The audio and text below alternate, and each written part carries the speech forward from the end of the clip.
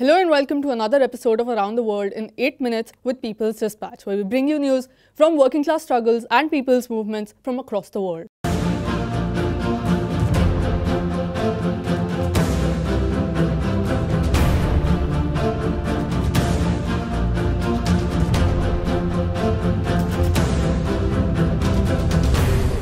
For our first story today, we go to Italy, where workers at the Genoa port went on a strike on May 20th and blocked the dock in protest against Italian authorities' decision to grant access to a Saudi cargo ship transporting military equipment. The ship Bahri Yanbu, carrying armaments, docked at the port around 6 am on Monday.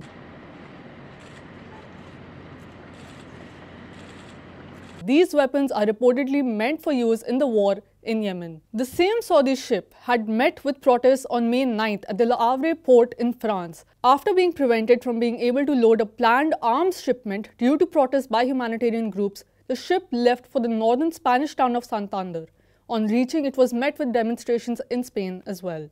The dock workers and transport workers from the Italian General Confederation of Labour in Genoa said in a joint statement that they continue to think that Italian ports must be open for people and closed to weapons. Italian newspaper Contropiano reported that the ship contains war materials loaded from Sunny Point in the United States, which is the world's largest military terminal, Antwerp in Belgium, Santander, and probably Tilbury in the United Kingdom and Bremerhaven in Germany. US, UK, and France have been providing arms and technical support to the Saudi led war in Yemen, in which more than 70,000 people have been killed and vital civilian infrastructures like hospitals and sewage treatment systems have been destroyed.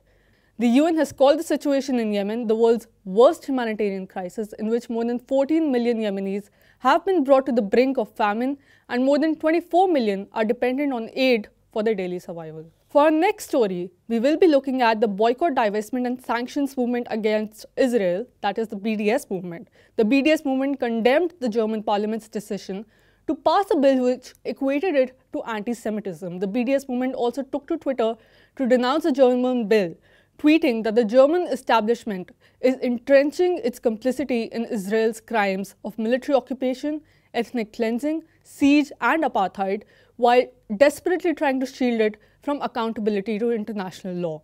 BDS has also stated that the bill is contradictory to international law and German democracy. The bill was passed in German parliament on Friday after a close vote. Two far-right and pro-Israel parties, the neoliberal Free Democratic Party and the anti-immigrant Alternate for Germany, had been campaigning for the bill in the German parliament.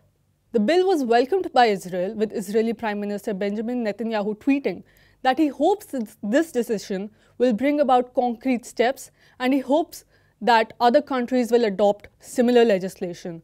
The Palestinian Authority labeled Germany's act of labeling BDS as anti Semitic very dangerous. The Palestinian Foreign Ministry issued a statement saying that the passing of the bill shows that Israel is still forcing its agenda on the representatives of European nations, adding that it is blackmailing the German parliament through its historic mistake related to the Holocaust.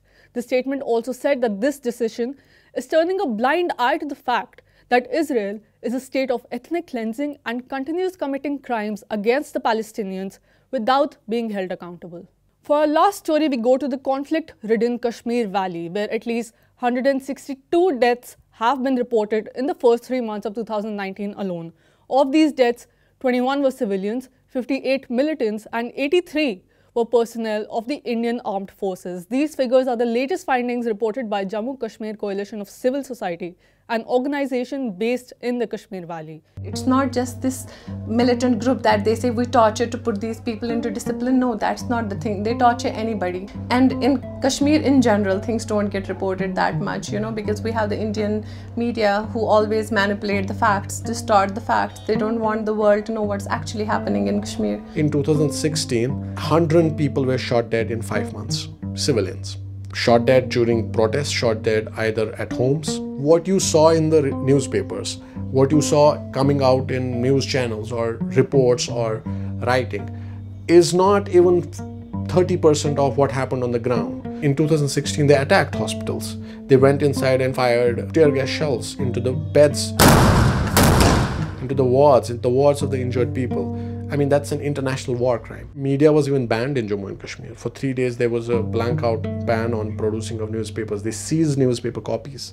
They seized communication. They did not want any communication to let out. They went to the printing presses, seized those communications. Number of casualties has increased in comparison to last year when 119 deaths were counted in the same period. According to the report, this is the first time in 29 years of armed conflict in Kashmir that the number of deaths of Indian Armed Forces personnel is higher in ratio as compared to the killings of militants. Counterinsurgency operations are also being continuously carried out.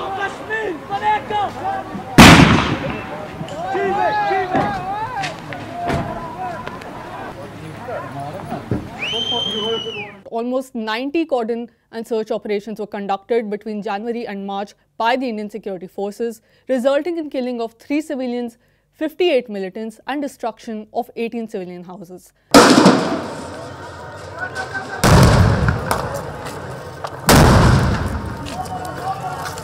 Besides this, the internet services were suspended 23 times in these three months, the report said.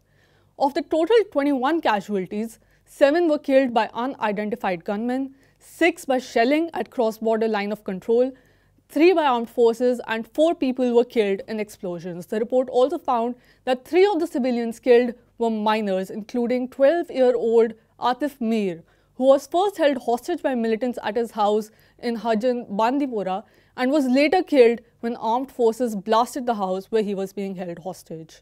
This is all for this episode of Around the World in 8 minutes. For more such stories and videos, do visit our website peoplesdispatch.org and follow us on Facebook, Twitter and YouTube.